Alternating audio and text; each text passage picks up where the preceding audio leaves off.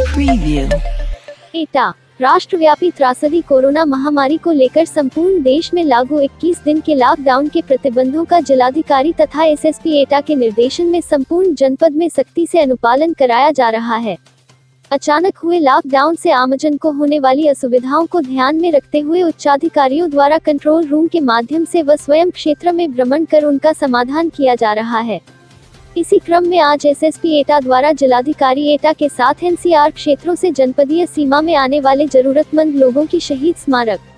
Overbridge तथा अलीगंज अड्डे पर मेडिकल टीम द्वारा पहले उनकी स्क्रीनिंग कराई गई। उसके बाद सभी लोगों को लंच पैकेट मुहैया कराए गए। एसएसपी एटा व जिलाधिकारी एटा द्वारा सोशल डिस्टेंसिंग का प्रमुखता से ख्याल रखते हुए स्वयं अपने हाथों से खाने पीने की सामग्री वितरित की गई।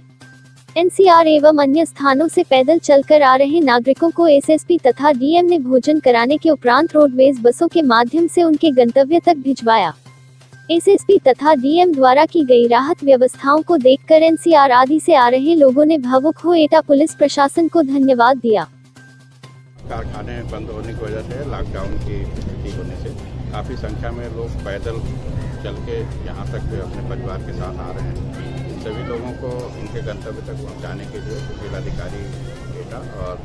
R roadways I R T O C M साहब की एक स्वास्थ्य विभाग की टीम, जो लगातार इनका मेडिकल परीक्षण भी कर रही है, साथ में गाड़ियों को सैनिटाइज करके उनको लंच पैकेट, फल, दूसरे अन्य सुविधाएँ प्रदान करके पानी की बोतलें दिया जा रहा है। और फिर